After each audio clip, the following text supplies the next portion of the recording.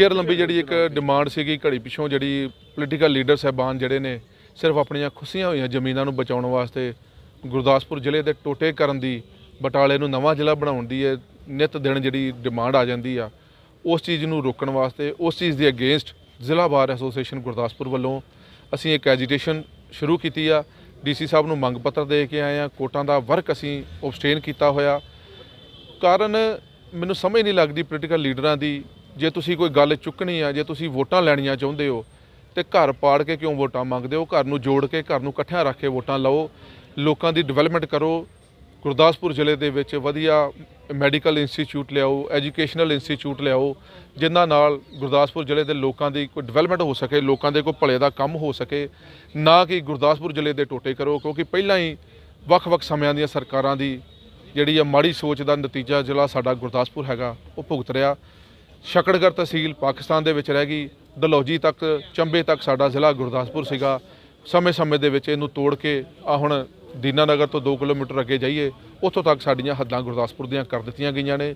ਮੇਰੀ ਸਮੇਂ ਦੀ ਸਰਕਾਰ ਤੋਂ ਬਹੁਤ ਹੀ ਸਾਨੂੰ ਸੂਝਵਾਨ ਮੁੱਖ ਮੰਤਰੀ ਸਾਹਿਬ ਮਿਲੇ ਨੇ। ਮੇਰੀ ਉਹਨਾਂ ਤੱਕ ਸੀਐਮ ਸਰਦਾਰ ਚਰਨਜੀਤ ਸਿੰਘ ਚੰਨੀ ਜੀ ਹੁਣਾਂ ਨੂੰ ਬੇਨਤੀ ਆ ਕਿ ਜੇ ਕੁਝ ਕਰਨਾ ਚਾਹੁੰਦੇ ਹੋ, ਬਹੁਤ ਵਧੀਆ ਉਪਰਾਲੇ ਤੁਸੀਂ ਕਰ ਰਹੇ ਹੋ। ਇੱਕ ਨਵਾਂ ਉਪਰਾਲਾ ਗੁਰਦਾਸਪੁਰ ਦੇ ਵਿੱਚ ਇੱਕ ਮੈਡੀਕਲ ਕਾਲਜ ਗੁਰਦਾਸਪੁਰ ਦੇ ਵਿੱਚ ਵਧੀਆ ਐਜੂਕੇਸ਼ਨਲ ਇੰਸਟੀਚਿਊਟ ਦਿਓ, ਸਾਡੇ ਗੁਰਦਾਸਪੁਰ ਜ਼ਿਲ੍ਹੇ ਦੀ ਡਿਵੈਲਪਮੈਂਟ ਵਾਸਤੇ ਫੰਡ ਦਿਓ।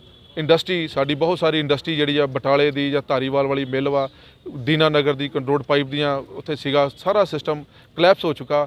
ਇਸ ਚੀਜ਼ ਨੂੰ ਰਿਵਾਈਵ ਕਰੋ। ਜਦੋਂ ਇਹ ਗੁਰਦਾਸਪੁਰ ਜ਼ਿਲ੍ਹਾ ਪਹਿਲਾਂ ਹੀ ਬਹੁਤ ਸੌੜਾ ਹੋ ਚੁੱਕਾ, ਸਿਆਸੀ ਕੋਝੀਆਂ ਚਾਲਾਂ ਕਰਕੇ।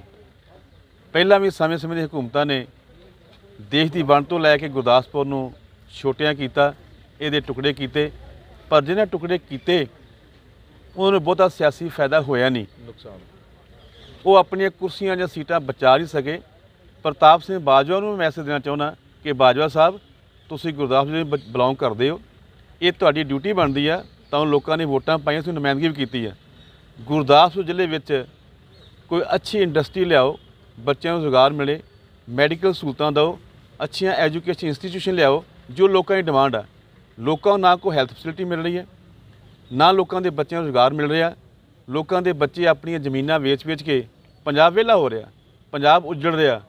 ਉਸ ਪਾਸੇ ਵੱਲ ਖਿਆਲ ਕਰੋ, ਨਾ ਕਿ ਆਪਣਾ ਸਿਆਸੀ ਲਿਆ ਲਾਣ ਵਾਸਤੇ ਕਿ ਬਾਜਵਾ ਸਾਹਿਬ ਕਹਿੰਦੇ ਮੈਂ ਚਿੱਠੀ ਲਿਖਤੀ ਪਹਿਲਾਂ ਤੇ ਉਹ ਤੋਂ ਬਾਜਵਾ ਸਾਹਿਬ ਕਹਿੰਦੇ ਮੈਂ ਚਿੱਠੀ ਲਿਖਤੀ ਪਹਿਲਾਂ, ਇਹ ਚਿੱਠੀਆਂ ਵਿੱਚ ਚੱਕਰ 'ਚ ਨਾ ਪੈ ਕੇ ਜੋ ਲੋਕਾਂ ਦੀਆਂ ਬੁਨਿਆਦੀ ਸਹੂਲਤਾਂ ਸਹੂਲਤਾਂ ਨੇ, ਉਹਨਾਂ ਨੂੰ ਦਿਓ